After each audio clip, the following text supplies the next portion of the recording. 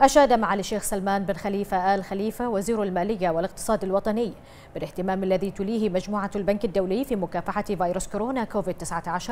والاستجابة البنك السريعة بتخصيص 14 مليار دولار لدعم الدول في الإجراءات الاحترازية والتدابير الوقائية ومنع انتشار الفيروس حيث نوه معاليه بأهمية التعاون الدولي للتصدي لتداعيات هذا الفيروس والحد من آثاره السلبية. جاء ذلك في البيان الذي ألقاه معالي وزير المالية والاقتصاد الوطني أمام لجنة التنمية باسم دول المجموعة العربية والمالديف والتي تمثلها مملكة البحرين. وذلك في إطار مشاركة معاليه في اجتماعات لجنة التنمية عبر تقنية الاتصال المرئي على هامش اجتماعات الربيع المرئية لمجلس محافظي البنك الدولي وصندوق النقد الدولي. وأشار معالي وزير المالية والاقتصاد الوطني إلى أن مجموعة البنك الدولي تلعب تمتلك القدرة على لعب دور مؤثر للحد من الآثار الاجتماعية والاقتصادية الناتجة عن فيروس كورونا من خلال تصميم سياسات مخصصة لإعادة وتيرة النمو العالمي القوي والشامل.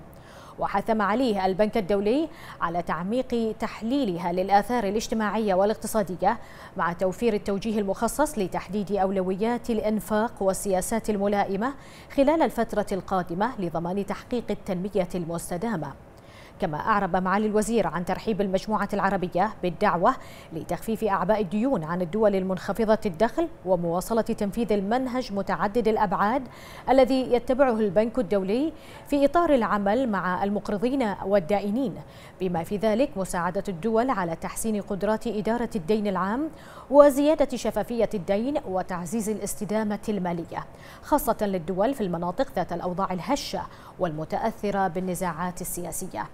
من ناحية أخرى أشارت لجنة التنمية في بيانها الختامي إلى أهمية تطبيق الإجراءات الجوهرية الموجهة على مستوى المالية العامة والسياسة النقدية والأسواق المالية لدعم الأفراد والأعمال المتضررة بأسرع وقت ممكن حيث ستساهم هذه الإجراءات على دعم وتعزيز المنظومة الاقتصادية وتمكين القطاعات الاقتصادية من العودة تدريجيا من انحسار الجائحة ودعت اللجنة إلى استمرار مجموعة البنك الدولي وصندوق النقد الدولي في دعم ومساندة العمل التنموي لمواجهة الفيروس والحد من الآثار الصحية والاجتماعية والاقتصادية في مختلف أنحاء العالم. وأهمية استمرارية العمل على حماية الاستقرار المالي لمواصلة دعم نمو الاقتصاد العالمي.